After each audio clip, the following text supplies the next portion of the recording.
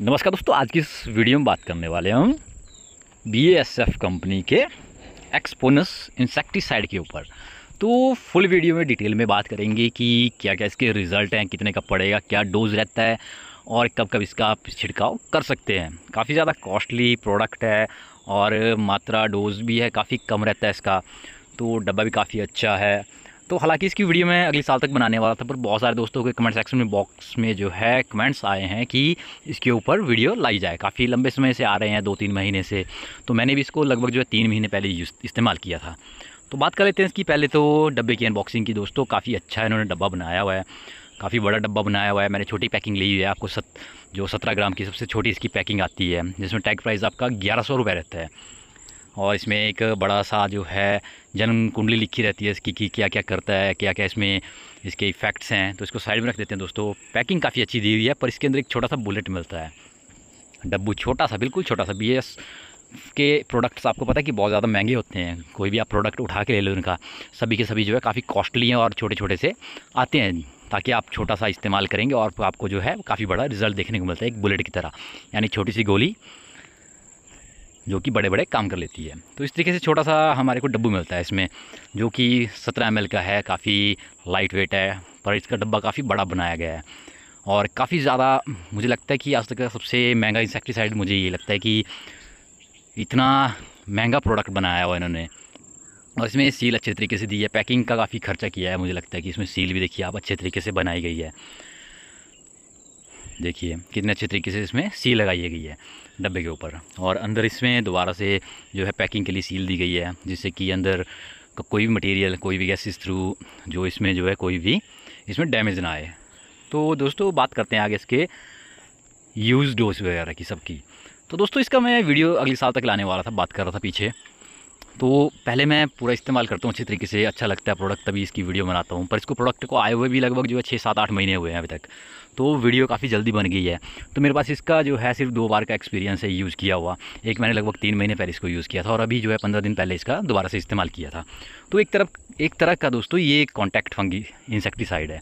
यानी कि एकदम से किट के कॉन्टैक्ट में आता है, जैसे ही आप स्प्रे करते हो, आपको रिज़ल्ट जो है दो चार घंटे के बाद देखना शुरू हो जाते हैं। और कंटिन्यू जो है ये आगे को रखते हैं फर्दर जो मैंने इस अपने खेत में मेरे लगे थे, काफ़ी ज़्यादा इलियाँ वगैरह लगी थी और एफर्ट्स भी लगे थे उस पर भी इसने थोड़ा कंट्रोल किया है, काफ़ी ज़्यादा मात्रा में। थ्रिप्स पे काफ़ी ज़्यादा कंट्रोल करता है ये। और एकदम से इलियाँ जो आपकी बहुत सारी लगती हैं दोस्तों, सुंडी लगती है, आपकी फ्रूट बोर वगैरह लगते हैं, उस चीज़ पर ये कंट्रोल करने में काफ़ी ज़्यादा जो है हेल्पफुल है, बहुत ज़्यादा उसमें एकदम से कंट्रोल करता है, पर लंबे समय तक कंट्रोल नहीं कर पाता है। तो दोस्तों, मैं काफ़ी सोच रहा हूँ इसको कि नापूँ कैसे डोज़ की बात कर लेता हूँ तो डोज़ डलता है दोस्तों, आपका जो 16 से लेके 20 लीटर का पंप आता है तो उसमें ये डलता है ढाई से तीन एम मात्र। तो मैं इसको थक गया नाप नाप के, मेरे पास, मैं खेत में चला गया था तो मेरे पास नाप नहीं था।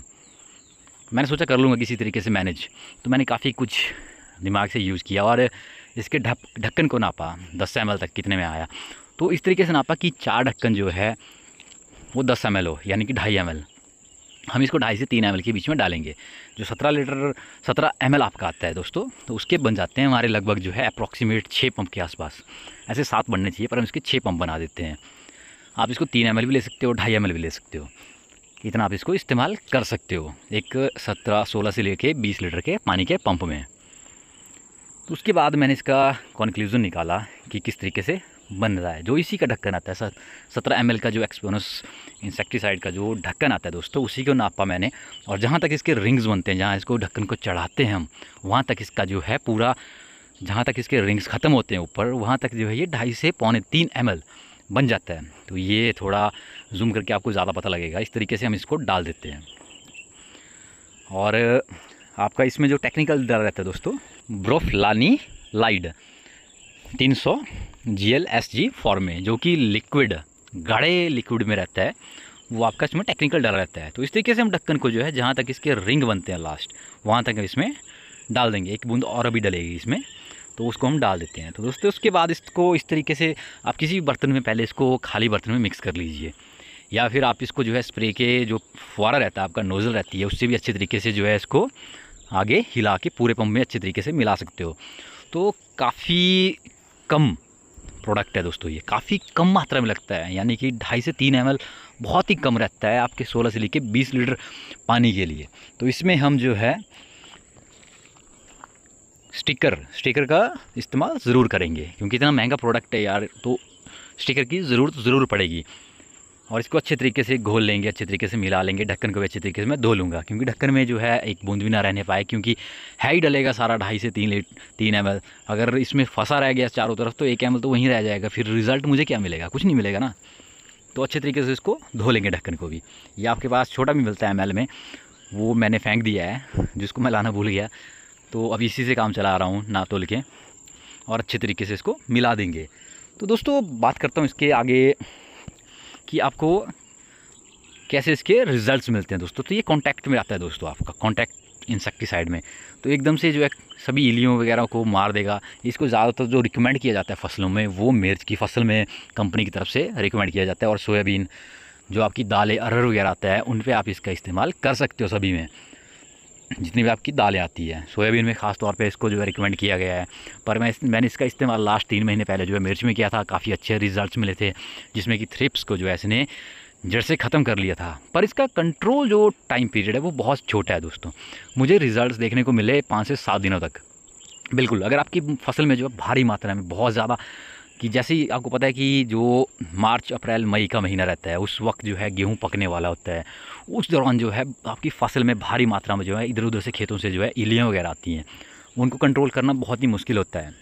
इवन आप उसमें जो है सिस्टमिक इंसेक्टिसाइड का भी स्प्रे करते हो तो भी वो पूरी तरह से कंट्रोल नहीं हो पाती है। तभी वो रह जाती हैं। ऐसी सिचुएशन में एक काम करेगा। दूसरा अभी आने वाला है समय। जैसी बरसात ख़त्म होती है दोस्तों, उसके बाद जो है, भारी एफेट्स वगैरह थ्रिप्स वगैरह और जो सुंडियाँ लगती हैं, वो भारी मात्रा में आती हैं। क्योंकि ये सीज़न रहता है ब्रीडिंग सीज़न होता है, बहुत ज़्यादा मौत वगैरह का। तो उसमें जो है भारी इलियाँ आती हैं, बहुत सारे प्रकार की इलियाँ आती है आपकी। जैसे कि आपका फल छेदक हो गया, तना छेदक हो गया, सूट फ्रूट बोर और आपकी अर्धकुंडी किट हो गया आपका। बहुत सारे और भी जो है ग्राम पॉन्ड बोर बोरर हो गया, बहुत सारे किट्स आते हैं, जिन पे ये कंट्रोल कर लेता है। पर जो आपके किट फ़ूड अंदर रहेंगे सूट के अंदर रहेंगे, उनको कंट्रोल नहीं करेगा, क्योंकि ये जो है कांटेक्ट में आने वाला इंसेक्टिसाइड है। ये उनके नर्वस सिस्टम को जो है डैमेज कर लेगा, उनको अपाहिज कर लेगा, उनको पैरालाइज कर लेगा। वो स्टार ग्रेजिंग करेंगे, यानी कि वो खाना पीना भूल जाएँगे। उन्हें पता नहीं लगेगा कि अपनी सुध बुध नहीं रहेगी कि क्या करना है हमें, हम किस लिए जी रहे हैं। तो वो भूख से मर जाएँगे, कुछ अंधे हो जाएँगे, और वो अपने आप कुछ वक्त में। ये नहीं कि आपने अभी छिड़काव किया, दो घंटे बाद सारे मर जाएँगे। आपको जो है तीन से चार घंटे, मेरे पास वीडियो पड़ा हुआ दोस्तों, मैंने इसका प्रैक्टिकल भी किया था कुछ किट्स के ऊपर। तो मैं उनको लगभग जो है पाँच से छः घंटे ऑब्जॉर्व किया, उसके जा, बाद जाके वो मरे। उनको कुछ पता नहीं लगा, वो राउंड बाई राउंड घूमते रहे एक जगह पर उनको पता ही नहीं चल रहा था कि कहाँ जाना है, क्या करना है हमें, कहाँ घूमना है। तो उस तरीके से भी मैंने इसका एक्सपेरिमेंट किया था। आपको वीडियो चाहिए होगा तो मैं उसको डाल दूँगा शॉर्ट्स में। तो दोस्तों, ये रहा हमारा बी का एक्सपोनस जिसका इस्तेमाल आप अपनी फ़सल में जीवन जो लाइफ साइकिल रहता है, जीवन काल चक्कर रहता है, उसमें जो है मात्र दो बार इसका छिड़काव कर सकते हो। बाकी आप और टेक्निकल्स का बीच में जो है अल्टरनेटिव में जो है इस्तेमाल करें, जिससे कि आपको ज़्यादा से ज़्यादा बेनिफिट और आपको अच्छे रिजल्ट्स मिले। और सत्रह एम की पैकिंग आपकी पड़ जाती है ग्यारह सौ टैग प्राइस में। पर आपको मार्केट में हो सकता है हज़ार रुपये में भी मिल जाए। इतना इसकी कॉस्ट रहती है, काफ़ी ज़्यादा महँगा इंसेक्टिसाइड है ये। और इसके बेटर रिजल्ट्स के लिए दोस्तों, आप इसका जो है छिड़काव, वो सुबह के समय ओस उड़ जाने के बाद या शाम को जो है चार बजे से पहले इसका इस्तेमाल कर सकते हैं बेटर रिजल्ट्स के लिए। और रही बात बारिश की तो ये ध्यान रखें कि अगले 12 से 24 घंटे तक बारिश बिल्कुल भी ना होने पाए, तभी आपको अच्छे रिजल्ट्स मिलेंगे। क्योंकि ये कॉन्टैक्ट इंसेक्टिसाइड है सिस्टमिक नहीं है, लंबा टाइम काम नहीं करेगा तो कम से कम 12 घंटे या 24 घंटे बेटर रिजल्ट्स के लिए ध्यान रखें कि आगे बारिश ना हो। और मैंने इसे मात्र दो बार इस्तेमाल किया है तो मेरे दोनों बार जो है बारिश नहीं हुई थी। लगभग तीन चार दिनों तक तो मुझे अच्छे रिजल्ट्स मिले ही मिले थे। तो ये है था दोस्तों मेरा दो बार का एक्सपीरियंस मात्र अभी तक। मैं इसका लास्ट वीडियो वीडियो लाने वाला था, पर दोस्तों की डिमांड में जो है काफ़ी जल्दी मुझे वीडियो लाना पड़ा। तो दोस्तों, इसी के साथ अपना अमूल्य समय देने के लिए बहुत बहुत धन्यवाद। अगर कोई सवाल या सुझाव रहता है तो कमेंट बॉक्स में ज़रूर लिखें।